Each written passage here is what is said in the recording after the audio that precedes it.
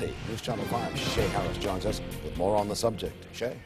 Well, Leon, that study suggests that Americans are going to be working when they should be enjoying their lives, and that's based on several different factors.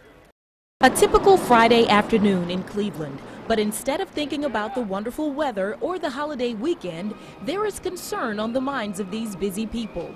Concern they may have to work later in life past the typical retirement age of 65. I'll probably be tired and broke down. A just released study by the Employee Benefit Research Institute says it's likely that Americans will have to work up to age 70 before they can retire. So that probably means uh, if you, unless you've had really good performance on your uh, IRA or whatever, that um, you probably will need to uh, retire later.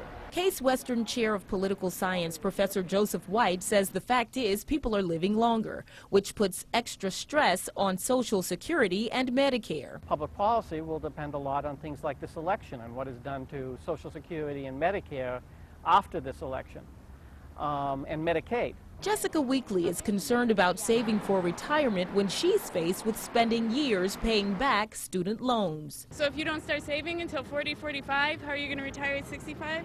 But it's not just saving money. Professor White says another thing hurting baby boomers is the value they've placed in their homes. When all the baby boomers are trying to sell their houses at once, who will they be selling them to? There's a big bunch of people selling their houses to a smaller group of people. Meanwhile, Tony says anyone who's not prepared for retirement can only blame themselves for poor planning. They, they squatter on things that they want instead of what they need, and they're just not prepared. I mean, if, if you know that's looming in the distance, you need to prepare for it.